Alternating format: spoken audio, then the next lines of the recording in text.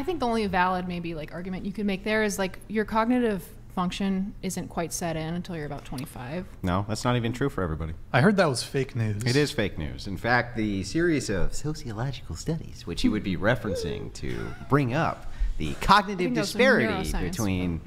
But no, these are sociological studies. Neuroscience, especially, will be the inside of the neuroscientific field, especially. What you're talking about is one specific part of the brain which isn't fully developed in a human they- adult female until they're What 26 did they say? years The old. prefrontal cortex is that it? That's that Yeah. one part, but he, the thing is, is like, but But is it- does it not a- diminish your cognitive ability by one percent? I mean, it rings true for Hmm. me. I, I, I do feel like once I got to about 25, like Yeah, but you I have just a whole ton of experience. had a s- experience. a, lot more ability to to make better decisions. But the problem with this is, let's assume for a second that every year you got older, it increased your cognitive ability or whatever by 1% or 2%. Assume that never occurred. It just stopped at 2% less than what it is now, and you had the same exact 10 years of experience. You would still be way smarter than you would be when you were 16 or 18 or 19 or 20.